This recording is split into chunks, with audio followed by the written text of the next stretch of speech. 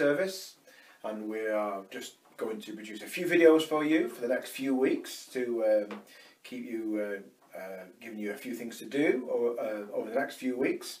And we're going to talk about our instrument and we're going to give you a few little challenges and it should be some great fun. I've just been playing my instrument here, this is the tuba and this is the, the lowest instrument in the brass family.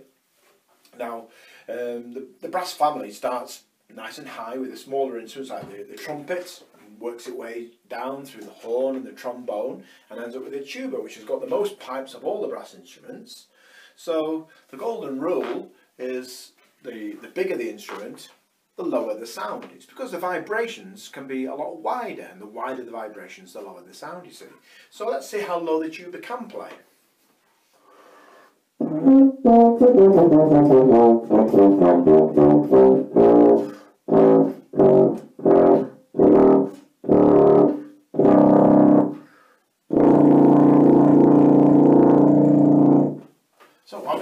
very, very low, low instrument. It's made up of sort of four fundamental parts really. We've got the main bit, which is the mouthpiece. This is where a lot of the work is done on the instrument because we create this buzz. And we put it through the mouthpiece, and can you see how there's a little hole at the end of it there? It directs that buzz right into that hole. And what that directed through that little hole does is it sends it through this quite small pipe, which goes right into the instrument, through the valve block. This is where the, uh, the valves for the instrument work, which help us change the notes. And then can you see how it goes around and around and around? and gradually the pipes get bigger and bigger and bigger which allow the vibrations to go wider and wider and wider and it comes out of this little part of the instrument which is called the bell which sends that music or those, or those sounds right around the room and it allows us to make some fantastic sounds. The tuba is a brilliant instrument, you can have a lot of fun with it.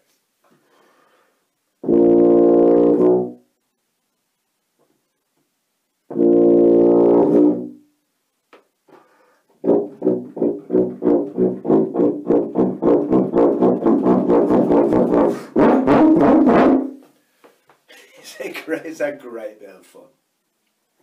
So that's a little bit about the instrument, and maybe you can remember uh, some of the things we've spoken about, about, about the, various pieces of equipment, the mouthpiece, the tubing, the valve block, and the bell. Maybe you can remember that, because maybe at some point over the next few weeks there might be a little quiz, so worth, worth bearing in mind. What I'm going to do now is I'm going to hand over to my colleague, who's going to do you a, a little give you a little lesson on the notation in music. So that should be really good fun. Thank you. When you're writing music down, this note here is called a crotchet. We're going to use the word walk because this is the speed that we are going to do the crotchets for one beat each. So look at my feet. It goes one, two, three, four. One, two, three, four. One, two, three, four. One, two, three, four. If you can do that all together, those are our walk, walk, walk, walk crotchets. And that's what they look like when you write them down. And step two to this is learning about these, which are called quavers, just like the crisps. And these ones we're going to talk about as being jogging, jogging, jogging, jogging. So you've got jogging to go with each one of those blobs there at the bottom to make your paired quavers. So it goes jogging, jogging, jogging, jogging, jogging, jogging, jogging, jogging. That's how fast those are. Okay, they're twice the speed of your walk, walk, walk, walk, jogging, jogging, jogging, jogging. Because obviously jogging is faster than walk. So now you know about crotchets and paired quavers and you know about walk and jogging. We're going to try and put those two steps together. You need to watch my feet first of all and I want you to see if you can copy my feet. Walk, walk, walk, walk.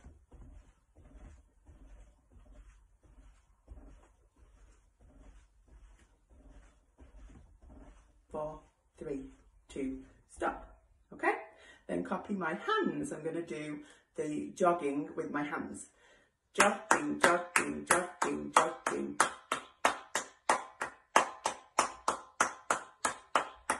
Four, three, two, stop.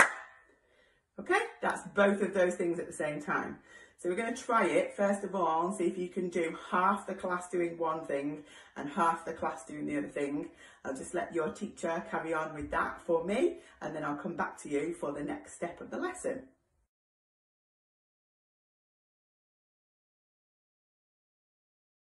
So the next part of the lesson is being able to put those two things together by yourself. We're going to do the walk, walk, walk, walk first. Ready, steady, off we go. Walk, walk, walk, walk. Add in your hands. Jogging, jogging, jogging, jogging, jogging.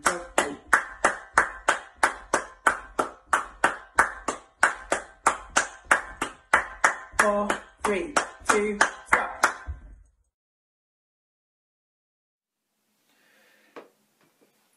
Well, that was great. Thank you very much. Now, the best, uh, I suppose, the best thing about um, playing music is when we get to play music together, and it's a really, really important thing. The whole, the whole thing about playing music together is just cannot be beaten, and it's such an important thing to do. So, if you ever, ever get the chance to take up a musical instrument and, and study it properly, just work really hard, and then eventually you'll find yourself in a situation where you'll be able to come along to a band or, a, or an orchestra or, or, or any group and it's such a magical thing that I really really recommend it. Some of the greatest friends that you'll ever ever make will be in a musical group and some of the greatest times you'll have trips, trips abroad, competitions. It's just fantastic. Now just to show you what can be possible when uh, musicians get together, we're going to play now a little recording of a tune called That's a Plenty And this features some of our brass teachers and some of our better players who, who have got together to record this fantastic jazzy little tune because we can play all sorts of different styles of music and that's something else that's really great. So really look forward to listening to this and listen to it really carefully. That's a plenty.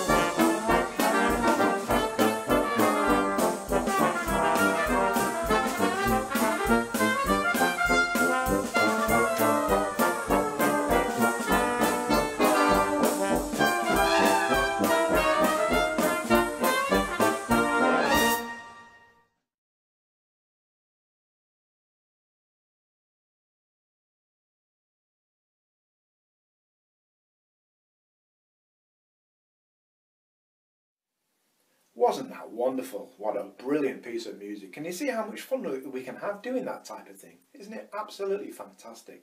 It's really, really good, isn't it? Okay, um, what we're going to do now, and we're just going to have a little recap, just a little tiny quiz. It's nothing you have to write down. Let's just see if you can remember some of the things that we've spoken about today. So first, first question. What was my instrument called? What's it called? Next question. What are the four, four main bits of my instrument?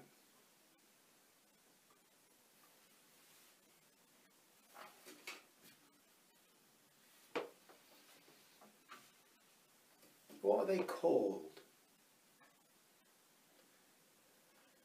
Next question. What is sound made up of? What is sound? What is sound? And the last question, what was the piece that we played together? Quite a jazzy piece, wasn't it? What was it called? Extra question. What are some of the groups that brass instruments can play in? I didn't give you all the answers here. Maybe you can think of some yourself. What are some of the groups that brass instruments play in? Okay, so over the next few weeks, this, we're going to be setting you a few challenges and we're going to find a way, hopefully, to get you doing a little bit of playing. We've got a few ideas of how we might be able to get you do a little bit of playing, not necessarily with your instrument. So that's, mm, you'll see what happens. It could be quite good fun. But we thought a nice little project to leave you with um, at the end of today's session would be just something slightly different. Now, as we know, anyone who's been doing the Arts Awards in their school, which I know some people have been doing, and people will know this generally as well, all the arts are kind of linked in a way. I mean, it's not exactly the same thing, but you know, if you're quite arty when it comes to making music, there might be a good chance that even if you can't draw, for instance, you would appreciate great drawing. I certainly do. I'm not a fantastic drawer by any means, pretty bad actually. But I really, really appreciate anyone who can do it really, really well. Same to go, same with dance. Uh, I'm no dancer, believe me. But when I see great dancers, it might be doing even the TikTok dances or the, or the shuffle or the hip hop dancing. I absolutely love it. I really appreciate what they're doing, even on even on Strictly. Really fantastic thing. I wonder what other sort of um, arts there is as well because we've talked spoke about music, spoke about dance, we spoke about art. How about drama? Drama's a great art, isn't it? And one of the, one of the classic arts, drama. Anyone who can really, really act really well, remember all the words and put emotion and feeling into it. It's really important, isn't it? Really important. Don't be afraid over the next few weeks to use the power that you've got and certainly something that I never had when I was growing up and that is the power of the internet. Get yourself on YouTube. Never mind listening, watching videos with Dan TDM and all those YouTubers. Why don't you think, well, I'm going to look into dance, or I'm going to look into music, or I might look into drama. And on all that will be there on, on YouTube. It's all there for the taking. Some of it won't be as good as other stuff, but you'll soon find out which is the good stuff. Why don't you research a little bit about music and what you like? You've got to love what you're doing and you never just never know. So sometimes just listening to the same music all the time, that's great. I mean, there's, there's I've got favourites as well. But maybe you should think, right, well, I'm going to look into classical music or I'm going to look into jazz. or I'm going to look into hip hop. You know, I, I, did, I discovered hip hop a good few years ago and it's something that stayed with me. I know I don't look like your average sort of hip hop fan, but I, I would know a lot of hip hop artists and I would have a lot of those albums, I really would. And it's a great thing, it's absolutely an amazing skill. So use that power that you've got. Go and research these acts and, see what you like, see what you don't like. It's really, really good. So we are going to leave you today with a, with a little challenge, and it's maybe something that you can try and do. And this is um, drawing cartoons. And we're going to start off with uh, a cartoon of a trumpet. So it's only short, so just, just follow this little video through and get a bit of, get a paper, get a pen, and see how see how good you can make it. You never know, you might even be able to colour it in as well. So it just needs a sheet of paper and a pen.